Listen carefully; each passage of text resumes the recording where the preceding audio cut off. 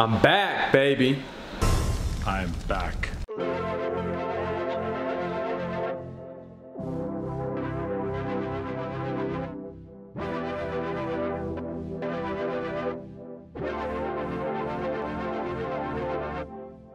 How you feel about your first semester here? It's only been two weeks, dude. I know. How many times have you cried already? Oh, like a bazillion. I've been around for a while. The moment you left your mother's room, woo, I touched your tiny hand and you were mine. You were shiny and new, a toy for my birthday. I was there when you laughed and cried. I was there for the screaming. I was there the moment your innocence started to run.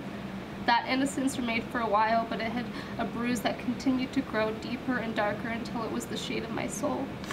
Black. Now we were companions. We turned into midnight lovers on the run from everything that threatened our security. I protected you. I nurtured you. I made sure that we were partners. But now your soul is red like fire and it burns me. It is too hot for my black soul, and I fear that you will leave me. And I am watching you rise. I yell, you will never be anything. I expect you to collapse and weep, and I expect you to believe me. But instead, you come to me, and with the softest voice, you lean and whisper, Watch me. And I know that I have to let you go, at least for now. Creative Soul, I vow so many things. I vow to acknowledge your presence in every aspect of my life. You've taken me on journeys and shown me the best things in life, and you've become my eyes into myself and the worst and greatest pieces of me. I vow to never take you for granted. I vow to appreciate the value of your worth. I vow to dig deeper every time to fully take you in, to express you at any given moment.